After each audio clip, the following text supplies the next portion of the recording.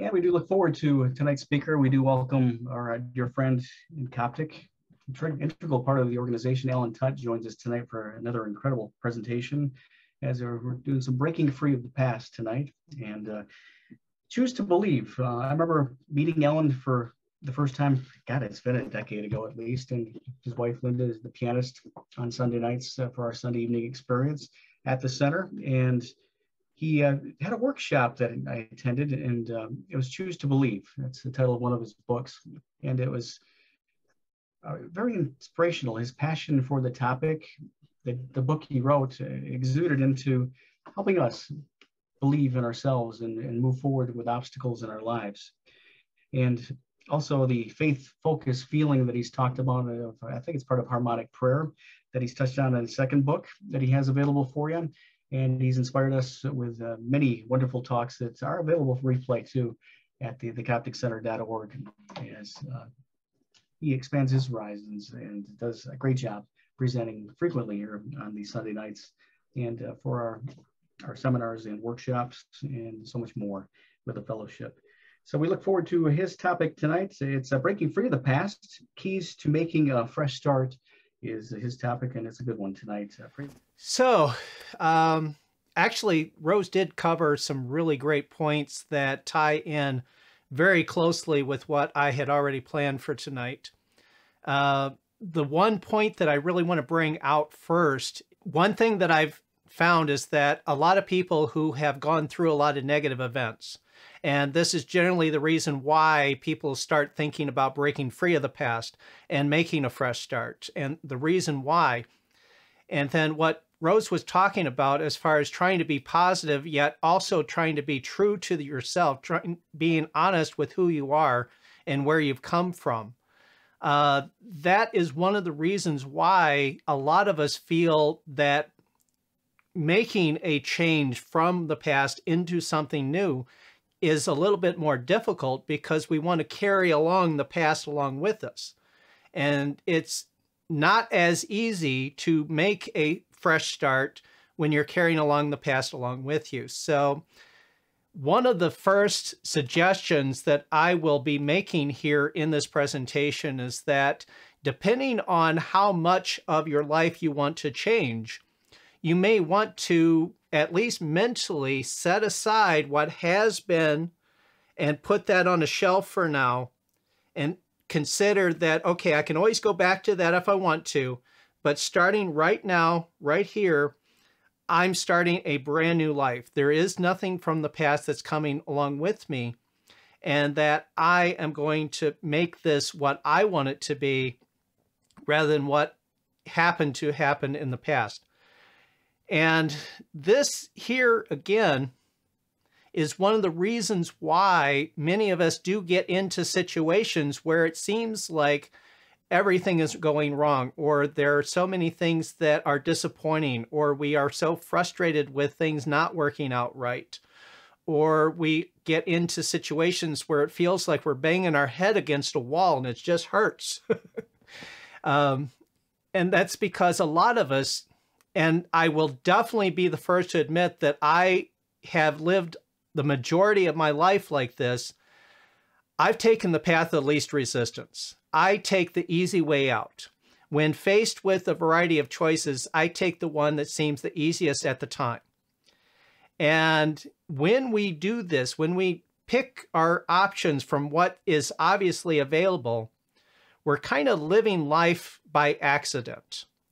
It just happens to be the the direction that we go is the direction that's already in front of us. We don't necessarily go looking for what's the best pathway for me. Where's what pathway is going to take me someplace that I really want to be. And there have been quite a number of times I've kicked myself, I've criticized myself, I've really talked down to myself about, well, why didn't you be a little bit more intentional about how I lived my life. And that really is the thing that I have learned. That's one of the biggest lessons I've learned is that when we live our lives by intention rather than by accident, we can take more control over our life. We can have a, a more what's I'm not sure what word I'm looking for here. Uh, we can we can have more of a say in how our lives turn out when we live by intention rather than by accident.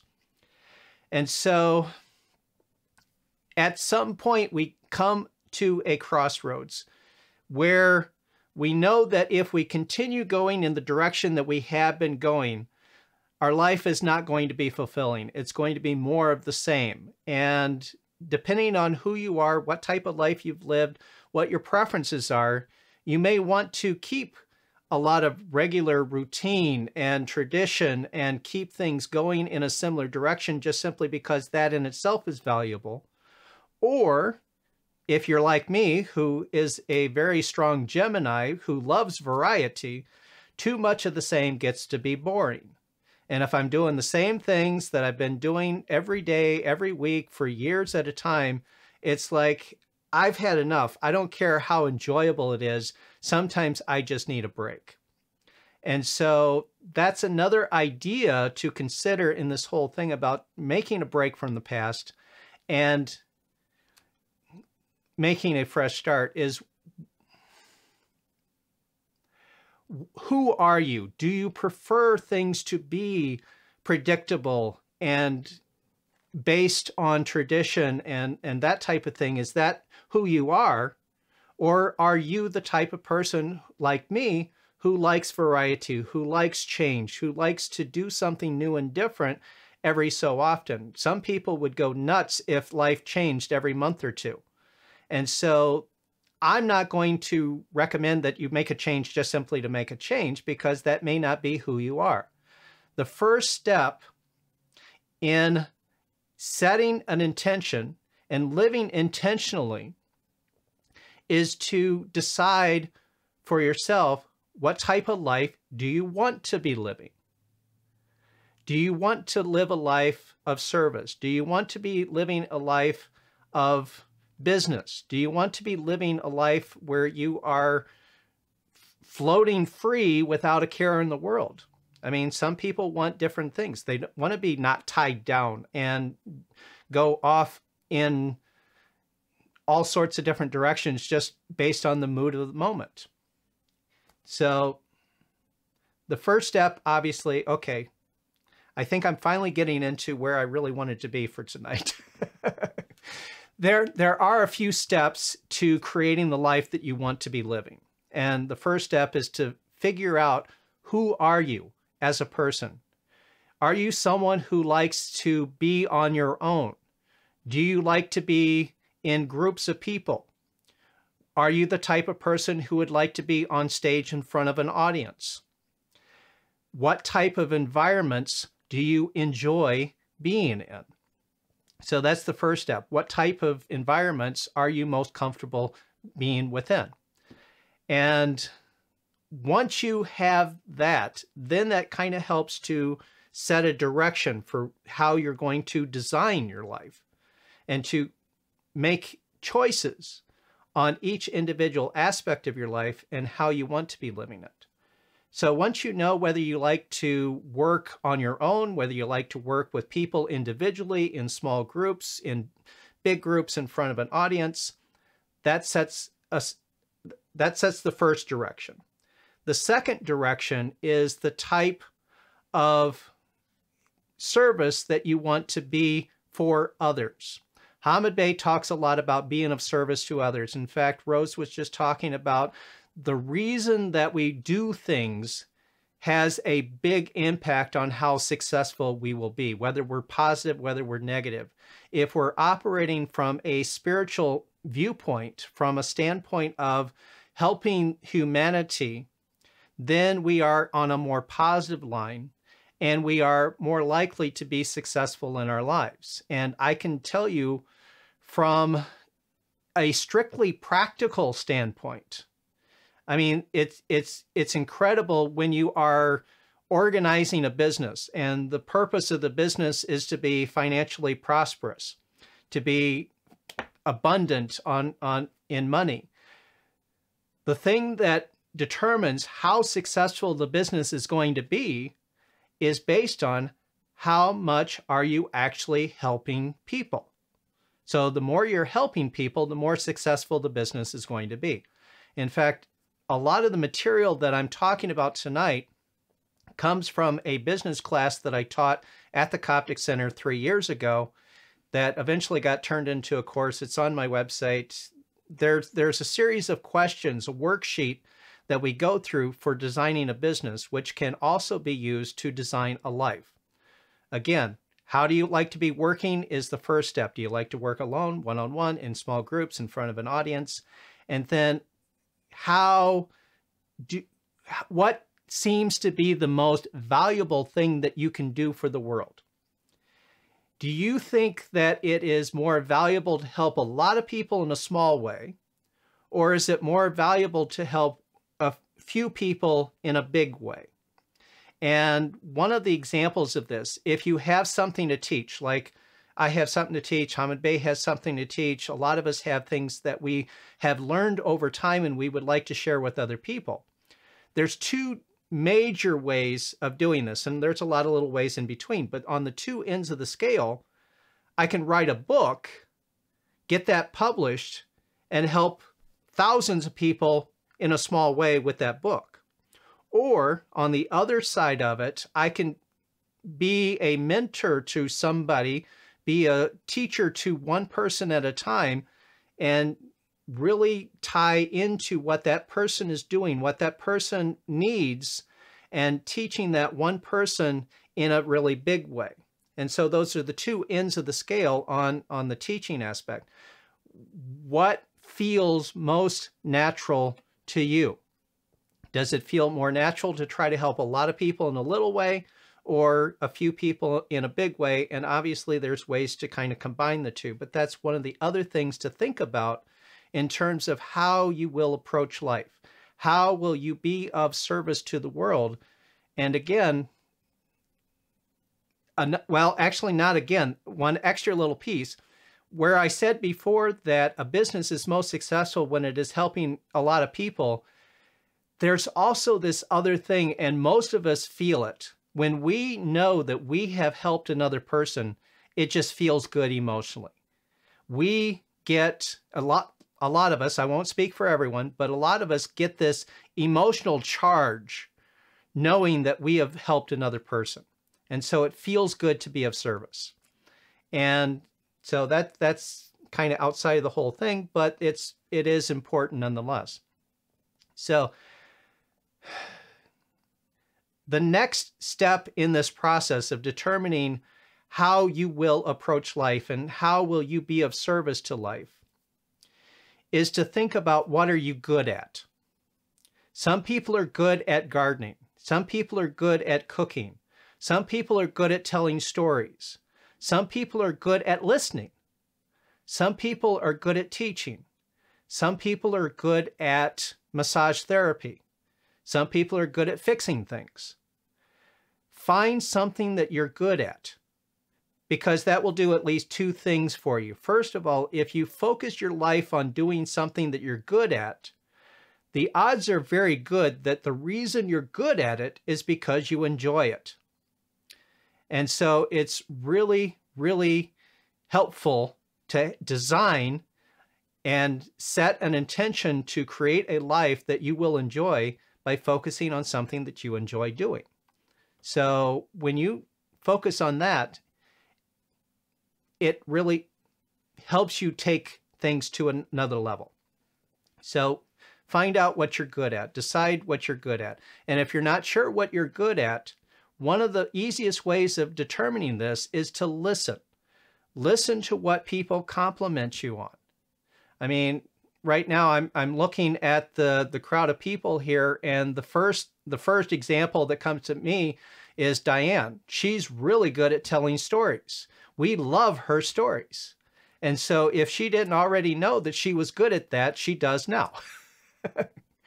um, Rose has a really good way of giving the Hamid Bey lessons. She puts a lot of personality in, into that. She's fun to listen to. And so that's something that I know a lot of people must must have complimented her on because I notice it every time she actually does a Hamid Bey lesson. So those are just two examples right now. Uh, the well, let's let's kind of get out of that because there is more that I want to cover. We have lots of opportunity for discussion afterwards. We can go into all sorts of different things there. So, in terms of designing a life that you will enjoy, there's also this aspect of how do you describe what it is that you do? How do you think about the thing that you do? And there are different ways of thinking about anything. And one of the things that can make life more enjoyable is to think of your life as a movie. If you are in a movie and the movie is about you, shouldn't you be the star of that movie? Shouldn't you be the hero of your own story? Because I can tell you from my own personal experience, one of the reasons why I felt life was so dull and boring for so many years is because, quite honestly, I was not the hero of my own story. I was playing a bit part. I was just doing little things for little in little situations and I never stuck my neck out to be something more than I was. And I also saw things in a very dry, boring way.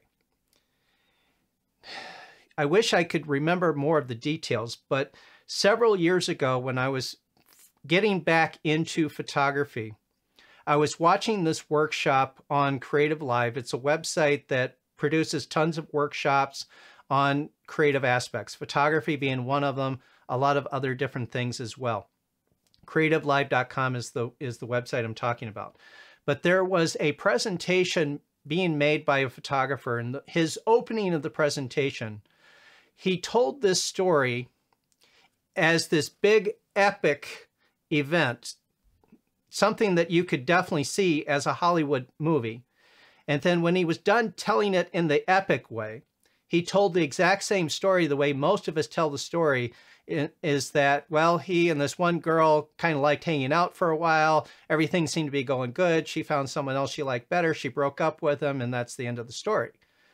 But he told that story in a very over the top, very dramatic fashion.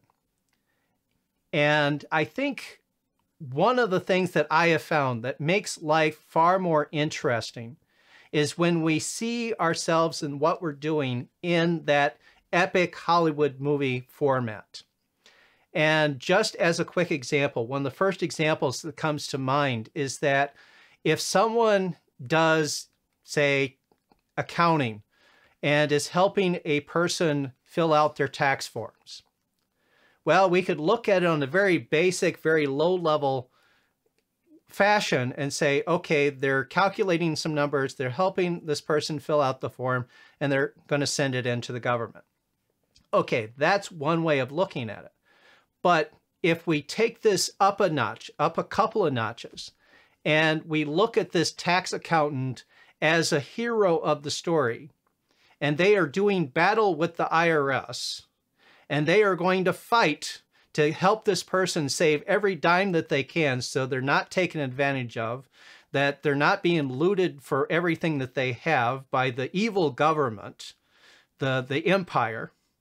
And there's this massive set of emotions going on behind finding those numbers and digging in deep to find the evidence to solve the mystery and then put everything together and organize it and and present it in just the right way so that the battle is won. I mean, it's two different ways of looking at the same process. And so when we look at what we're doing and we can describe what we're doing as an epic movie, and that we're not just helping someone, we are being the hero of the story. And if we can take it even further and say that we are a superhero, that we have this special power to accomplish something that no one else can accomplish, then it it takes our life to again a whole new level. So that's just the basic idea there. So there are a lot of ways that we can follow through with this line of thinking. And the basic thing that I really want to get across is that a lot of times the way that we experience life is based on how we interpret the things that are happening. Do we interpret it as just one boring thing after another? Or do we interpret it as this epic story that could be the basis for a Hollywood blockbuster movie? And just by looking at our lives a little bit differently, we can inject some fun, inject some excitement into it that makes it feel so much different than it would have felt otherwise. So I think I've pretty much covered most of what I really want to get into. Uh, if I go too much further, then it opens up a whole new topic, and then we'd be here for another 20 minutes, and I guess I'd rather not do that. So we're going to kind of call it quits now. So I really want to get into a good discussion on this. I will do whatever I can to help you guys reinterpret the way that you want to take your life. And and here's really the bottom line that I really want to base everything on is that if we just simply make our choices based off what's obviously available to us and just go, take the easy way out, go with the the path of least resistance. We are living life by accident. And there's no telling where that's going to lead us. Sometimes that could lead us in a good good place. There are times when I will go out into a forest, I'll go out into a park, and I'll just simply follow my nose. And okay, this pathway looks good. Let's walk through there. This pathway looks good. Let's walk through there. But I know that if I eventually get to a point where I don't know where I am and nothing looks good, I need to find a map and I need to figure out where do I want to be and then make choices based off of where I want to be and then set my intention for the destination that I desire. So while it can be fun to live life by accident, if you're not happy with the direction it's been going, it's time to live life by intention. And so that's what I'm going to encourage everyone to do to set an intention for where you want your life to go and decide what am I good at? What do I enjoy doing? What types of situations do I enjoy doing this in? Do I like working with one person at a time? Do I like doing things on my own? Do I want to be in a group of people? How can I serve people in a way that makes sense for me? And then if you need more direction, meditate, go within, touch into your higher self and ask the question. And as long as you trust the process, as long as you relax and make contact with the divine, the answers will be there. So, thank you, and let the discussion begin. Thank you, Alan. I have to say something. I loved your presentation, and um, it just comes to mind when you talked about the accountant you know it's like a mundane job um, i have to say that every every year i meet my accountant and it's such a joy to meet him because for me he's a hero and I always, when I talk about him, I elaborate how, how wonderful he is, that he knows so much and he has that knowledge. So I think I would take that a little bit further. So not only um, we doing our own story, but we can, I think when we when we when we get that energy out and and look at another person as a hero, you know, um, he's it's always a joy when we meet, you know, because there's such a good energy. Because I think he senses that that he's my hero, you know. so you know so it's like when we meet people it's like we look at their profession say oh you're a hero you know you're a musician oh how wonderful and i always I always put them on a pedestal you know i have a, I have a friend who is in a grand rapids symphony it's it's the greatest thing for me to to be honored to know such a person you know so and um one other thing is that really ties in with uh um series of events looking at the past um i had a I told my friend this week um, because we always like we like to look at ourselves. Oh, I had this bad experience. I had this happening to me. But I told my friend this week, you know what? Um, I had the the joy to experience all of this. Um, I could have had a different life, you know, a more mundane, more mundane life, and, and not so much turmoil and not so much um, going on. But at the same time, I got to experience things that um, others don't and at my age, you know. So it's a way to look at it. You know, you can look at, oh, I'm poor me. It's like, cool, you know, I have a really eventful life, even though it's up and down. So thank you. and and thank you because you you brought out another example of what I was talking about that we each have our strengths. We each have the thing that we're good at. And what you have just demonstrated is that you're good at seeing other people in the best possible light. And that in itself is a gift. And if you can communicate that to people, that in itself will serve them. So yes. that that's a really great example of what I was talking about. Thank you. Mm, thank you. Alan, I think I'm so inspired by what you said. And I think for me, when I look back at world leadership training, this talk is ideal for uh, people have already decided they want to serve in some capacity or they've made a choice to do something different in their life. And Mike, Alan, and John, um, this would be a, a wonderful. Um, you and I are on the same page with that one. You and I are definitely on the same wavelength because I was thinking about having this type of information be included in the WSO class at some point yeah. to help people decide what is their pathway of service. You know, WSO is the first level of training, and I don't know how many of us here tonight were um, privileged to take all the classes. I took them all except minister training um, because I have my own ministry, which does not involve marrying, burying, or doing that.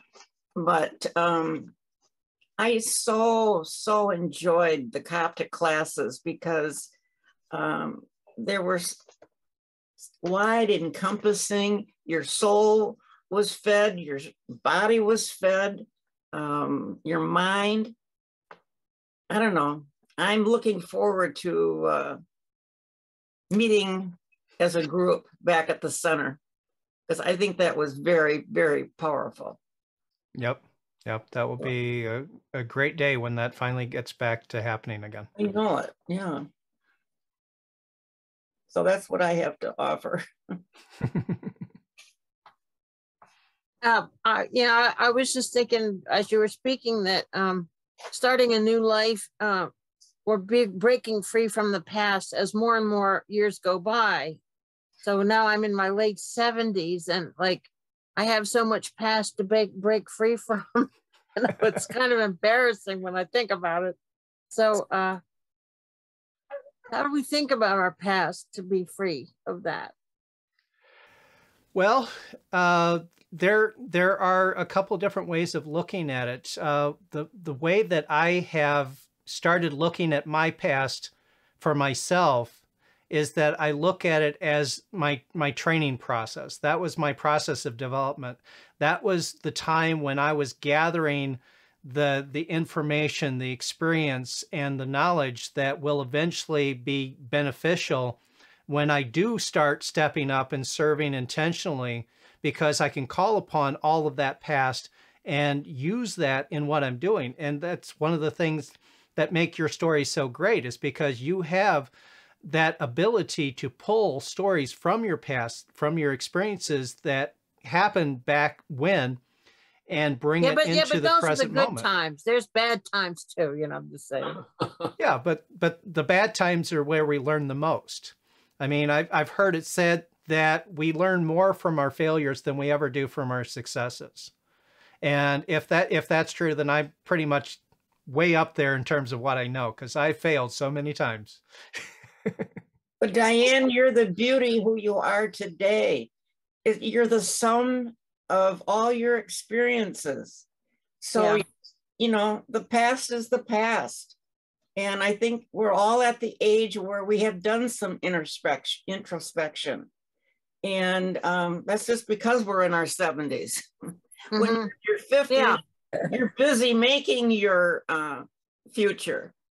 Um, so you are who you are, you designed it, and um, you're beautiful the way you are. But now with tonight's talk, you can do more if you want. Yeah. Yeah.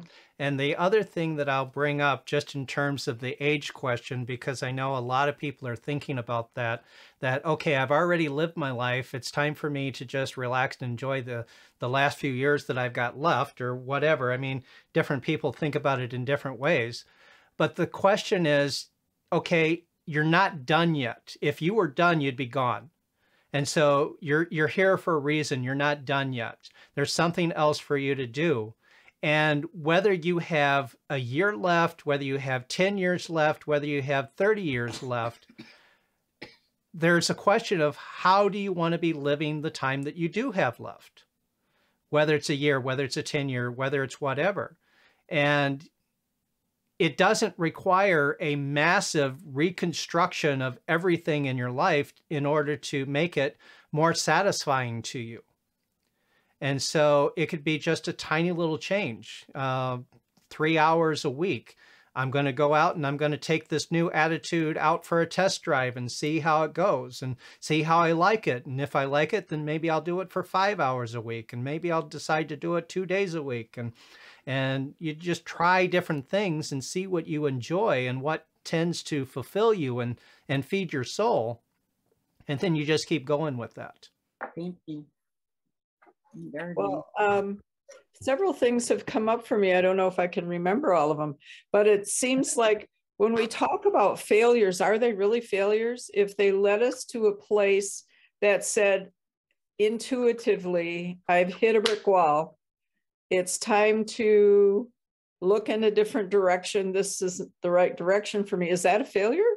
No. It, you know, I think, to, and sometimes to redefine that, um, right and instead of a failure, it's actually a success. It's it's teaching you Mhm. uh, like a barometer, where you know. So it's actually a success. So that that was one thing that came up in talking about and speaking about that.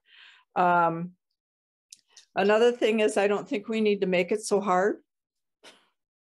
Um, it, it's um, I, that that kind of came up when Rose was reading about what Ahmed Hamid Bey was saying. Is that boy, all these rules, all this do, these do's and don'ts, and if you're not doing it this way, you're not doing it at all, and all of this stuff like that. And I, I, I can't. It for me, my personality, it's hard for me to go there. Um, and I remember when laughter yoga was was a big thing. Everybody was doing laughter yoga. Um, I did a piece on laughter yoga at Unity when we were doing a, an all women's day. And um, somebody from that session asked me to teach at, at another, uh, the health benefits of laughter. And in the course of that, I found an article on smiling. And it smiling in and of itself does the same things to your body that laughter does. The only thing that might be missing is that belly laugh that give would strengthen your belly, and um, and, and the movement. But um, I think that, and and a lot of times they say serving other people can just be giving some someone a warm smile.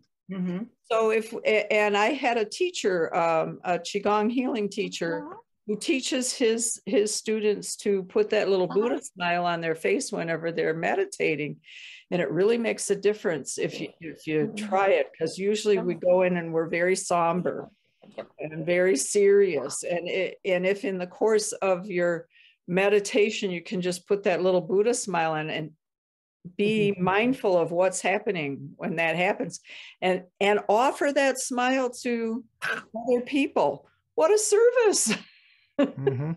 it's just um i don't know when people are always looking so you know i i i want and, and it's not a good thing to say smile but um i you know i i took some nlp i worked with nlp a fair amount and and so when people are like that their body posture, your eyes, your facial expressions, that tells more about you than anything you could ever do or say.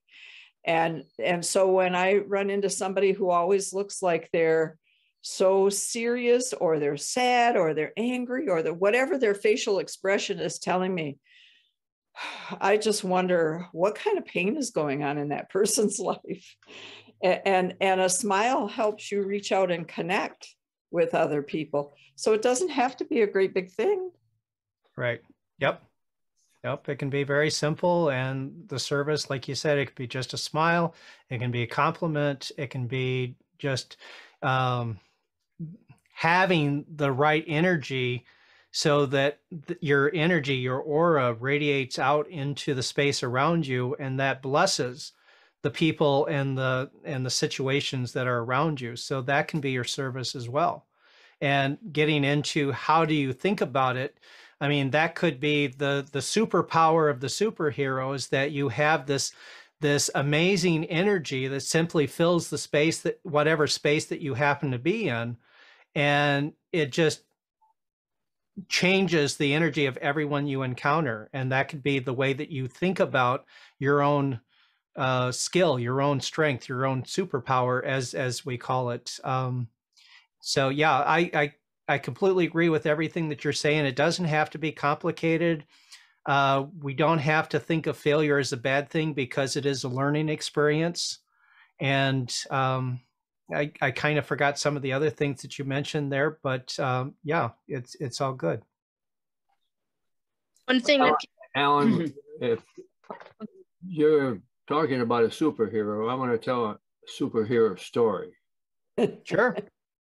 Uh, some of you have heard it, but it's one of those things that I can start out by saying you have to start believing that anything is possible. And I played golf with Hamid Bey several times. In this one place was, was a golf course he played in California. And uh, he wasn't a par golfer. He, he, was kind of a duffer type of thing. And like you are now. Like I am now, yeah. so anyway, we reached about this 13th hole and he was dubbing a shot all the time. And he knocked the ball in front of a stream. I said, "Oh, oh, he's gonna knock it in the stream. Oh man, I'm, I'm, gonna feel bad for him." And he hit the shot, and it went up to the stream, and there was a a, a bridge there, and the ball hit the bridge and went across the stream. and I said, Master Bey, how did how, how did you do that? That's phenomenal. That is that's a miracle.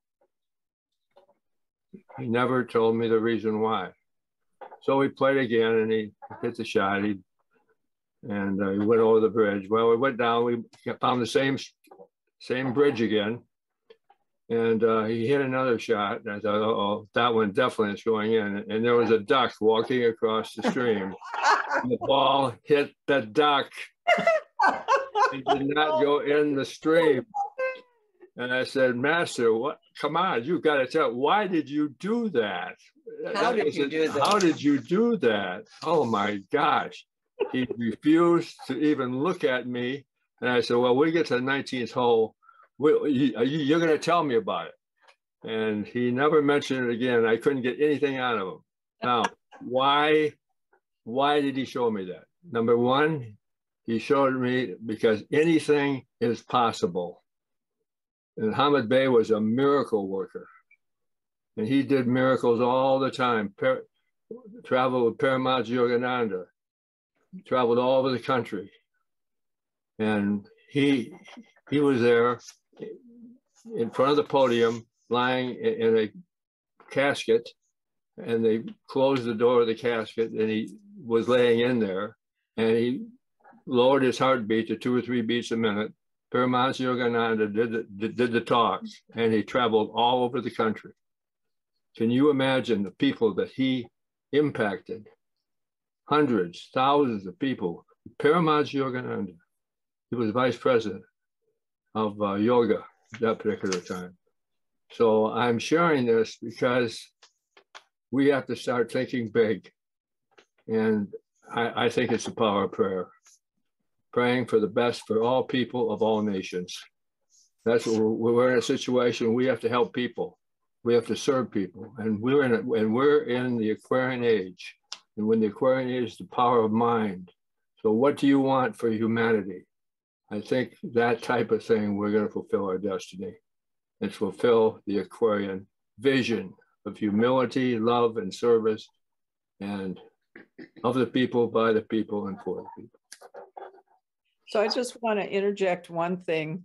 Um, I had a reading with Frank Graham in the ruins at one time, and he told me that my the blocks to my I'm blocking myself um, to for from my gifts, from expressing my gifts, and it's in my it's a mental thing that I'm doing. And so shortly after that, I had an appointment with Virginia, the woman I've worked with since the late 70s, who sees energies. And I was telling her about this, and she agreed. And, and I said, So, how do I break free from these mental patterns that are blocking me from my gifts? And she says, Tell your mind to let him go. He said, What? That easy? She said, Yep, that easy. Tell your mind. I, I, guess I haven't told my mind in the yeah, right way. Yet. I, I would say that it could be that easy if you truly believed it would be that easy. But if you if if it's not working as quickly as you would like, then maybe you just have to look at it that it's a process. It's like any other habit. You're in a habit of thinking a particular way, and and that's definitely where I have come from. I was in a habit of thinking along certain lines to see everything at the most basic level. And this whole idea of thinking about things at, in a more epic way, in a more uh, Hollywood story way, is a habit that I am still working on developing. So sometimes the way that we think, the way that we act, the way that we behave, these are habits that take time to change. And it's just, again, being intentional let me do something a little bit different right now and move in the direction that I want to eventually get to. And here again, going back into this idea of change, change doesn't have to happen all at once. It, it's like if you're driving down the road and you just turn the, the wheel of the car just a little bit, right right right at first you're going to still be in the same lane that you were in but if you continue going off in that slightly different direction you're eventually going to run off the road. Because just a tiny little bit of a turn becomes more and more significant as time goes on. And so if we want to turn a corner we're turning the wheels of the car a little bit and then a little bit more and then a little bit more and then a little bit more and eventually we're turn turn the corner just by making a one small change after another. So changing our lives, again, doesn't have to be this big complicated thing. It can be just one small change after another, all leading in the direction that you really want to go.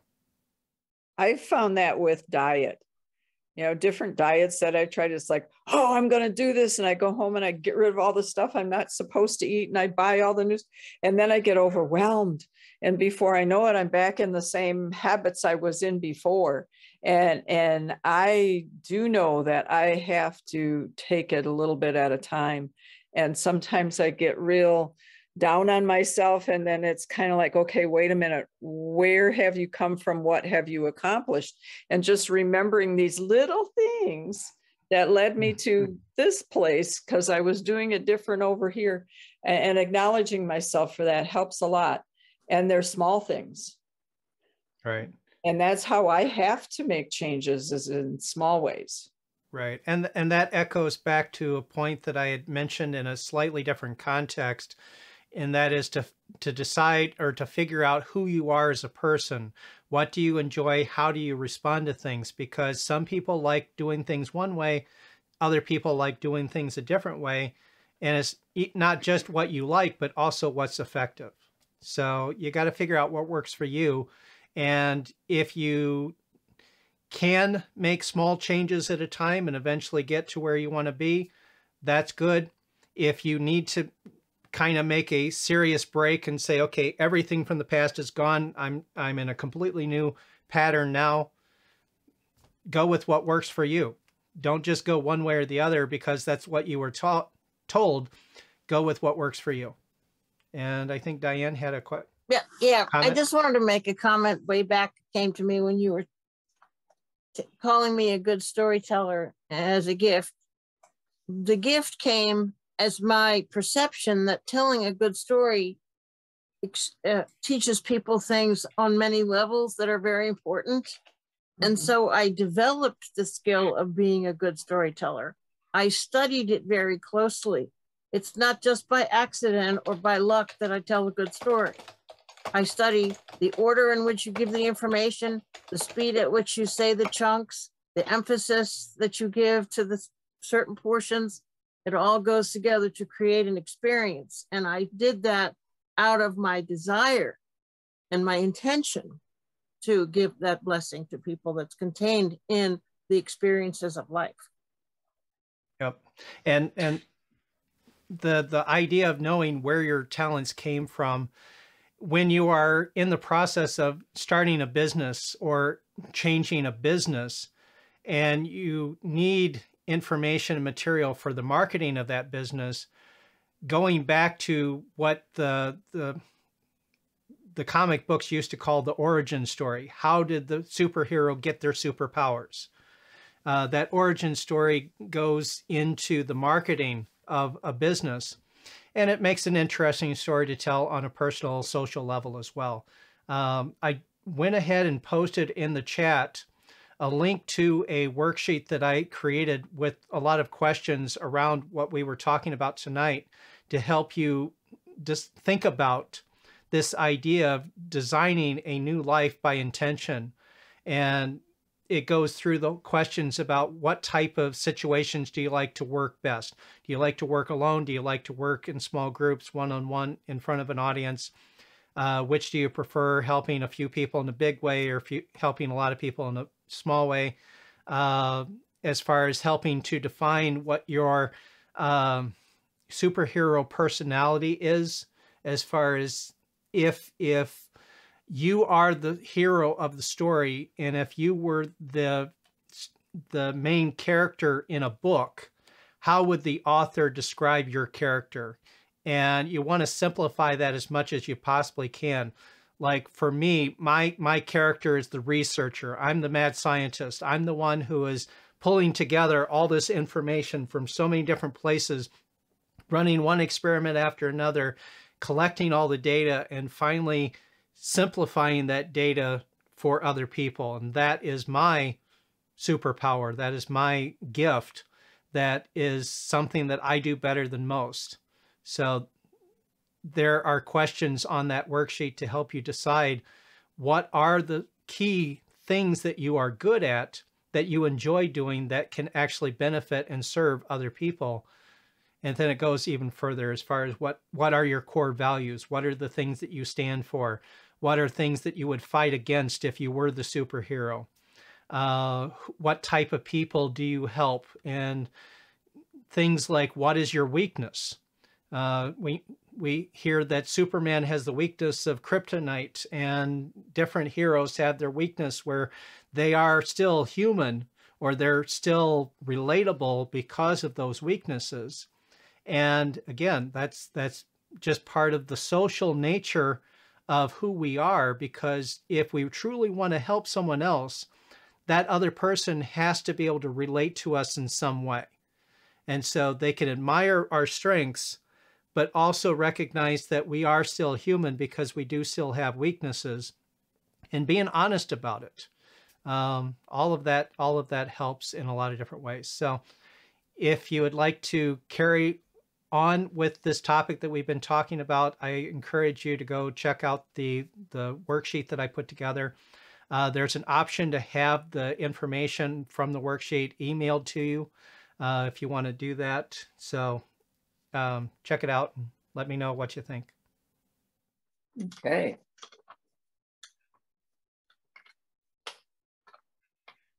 Hey, Alan, I, I want to say one couple things. First off, in terms of positive, people, John, John, Nancy Davis, and Jim Campbell, Jesse Campbell are very, very positive, changed my life.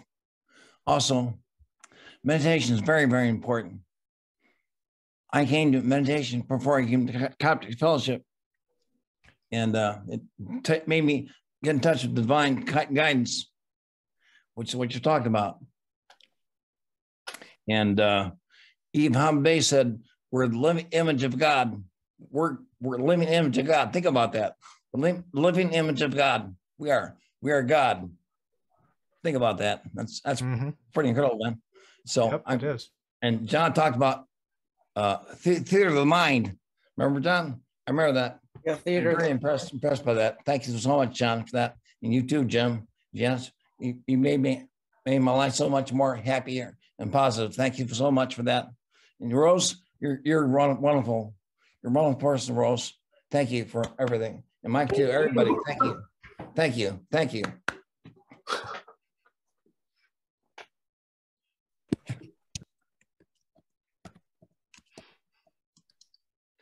I'd like to say the things that we think of, you were talking before about failures, are perhaps common situations that others can identify with.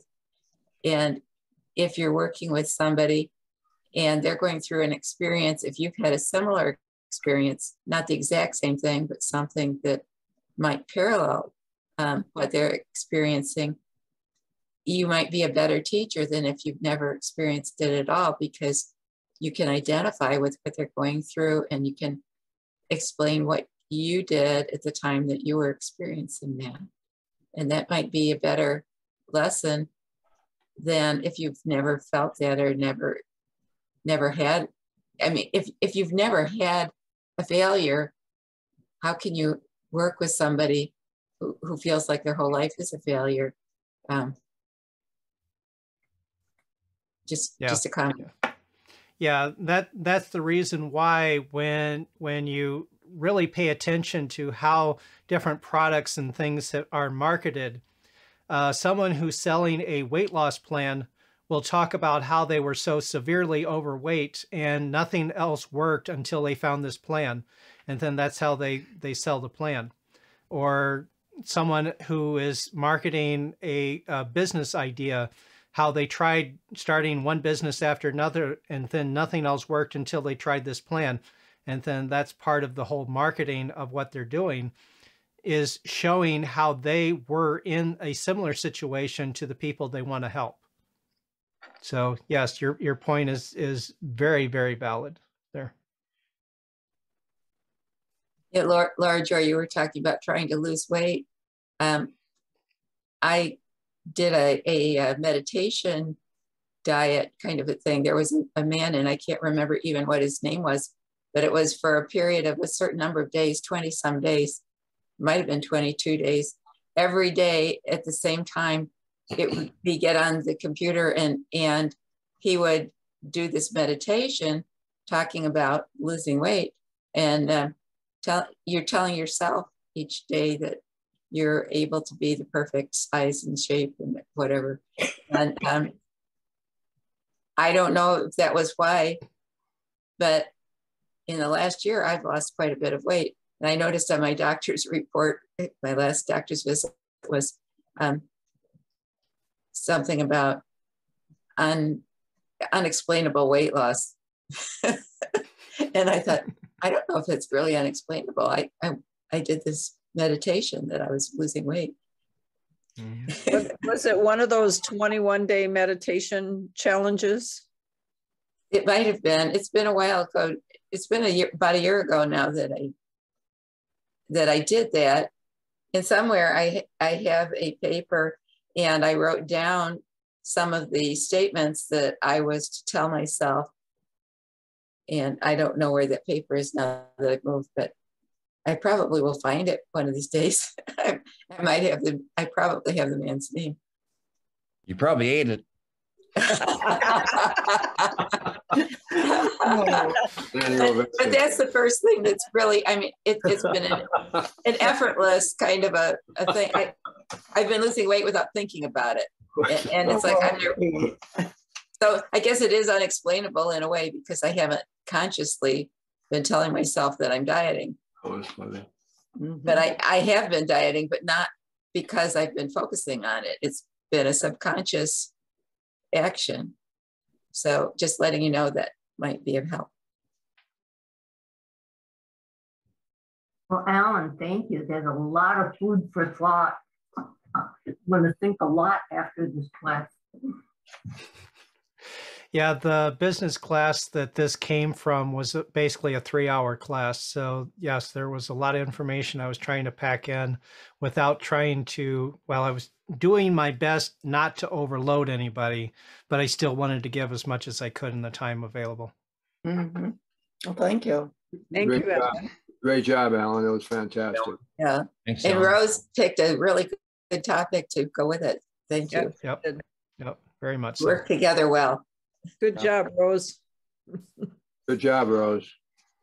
I've gotten so many compliments tonight. I'm coming I, you know, Rose, I think you should be our resident Coptic moment person. I Don't, would like to do that every week. No? do not think so. Oh, I think everyone should have their opportunity and their chance. Yeah, but when you do something so well, it's got your name written all over it.